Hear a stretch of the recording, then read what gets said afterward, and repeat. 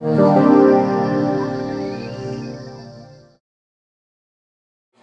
Martin, back in back in Clydebank to do the draw for the Ramsden's Cup. It's good to be back where it all started for you. It is, yeah.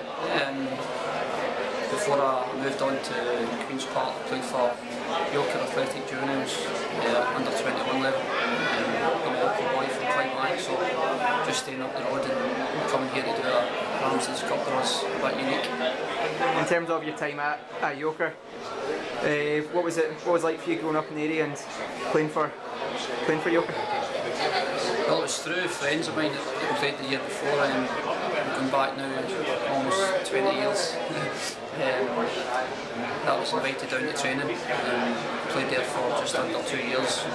Was picked up by a scout for Queen's Park.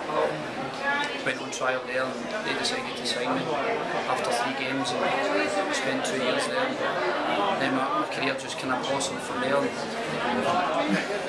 Eventually went full time at the age of 25. So as much as there was there was times when I was playing with my, my local friends and Clyde Bank and stuff like that. Um, if you work hard and, and make sure that you put in the right attitude, um, you can see the benefits of becoming a full-time footballer. Just in terms of your spell at Yoker, how how instrumental has that been to get you to where you are now and enjoy the success you've enjoyed in your career? Well, I think when I played for the team that we were probably the most successful Yoker team uh, in recent seasons. We managed to win various cups uh, in the league playing against Campsie, Blackwatch, Mackay and stuff like that. And was always a, a few derbies because it was, I think, three teams from Clydebank at the time. Um, as I say, it's, it's sets you up in good, set, good stead for previous seasons when I went into the senior ranks.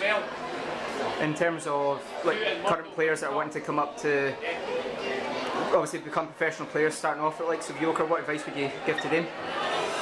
I think just give it everything, everything you've got because you, you just don't know who might be watching at the sidelines. I was just playing week in, week out on a Saturday and managed to be playing some cup finals and stuff like that. As I say, you don't know who's watching. Luckily enough for myself that there was a scout there uh, from Queen's Park. He invited me up for a trial. I went on trial for the three games, was asked to sign there and then, which I did. And I'll say if, if you put in maximum effort then you can reap, reap the, rewards.